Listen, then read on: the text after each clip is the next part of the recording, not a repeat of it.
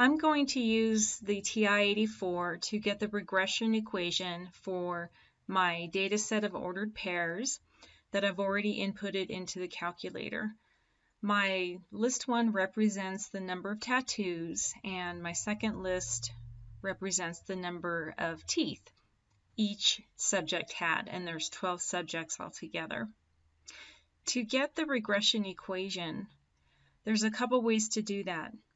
One way would be to click on your stat menu or press your stat key, right arrow over to calc, and option 4 is linear regression AX plus B. You need to tell it what two lists you want to find the regression equation on, and you need to make sure you choose the correct list for the X list or the X variable and the correct list for the Y variable. And then down arrow to calculate, press enter,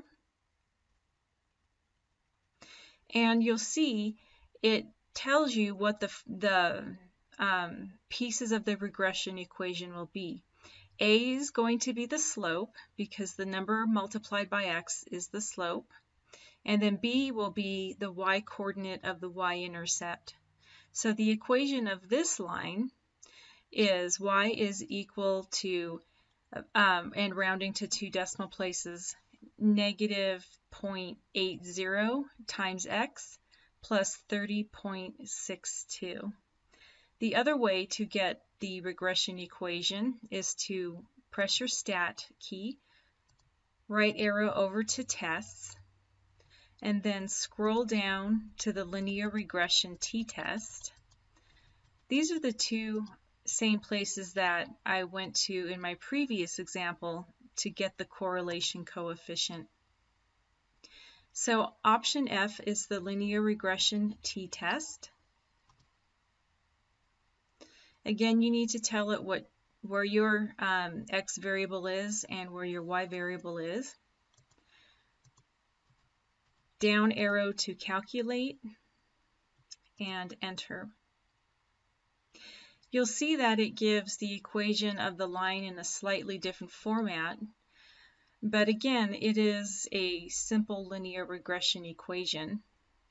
A this time represents the y-coordinate of the y-intercept, and B, which is the number being multiplied by x, is the slope. I know that can be a little confusing because it, they do it in an opposite manner on the previous screen, but just make sure you understand that the number being multiplied by x is your slope.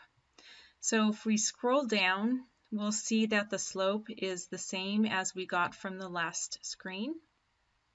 And going a little further, you'll see that the y-intercept is also the same.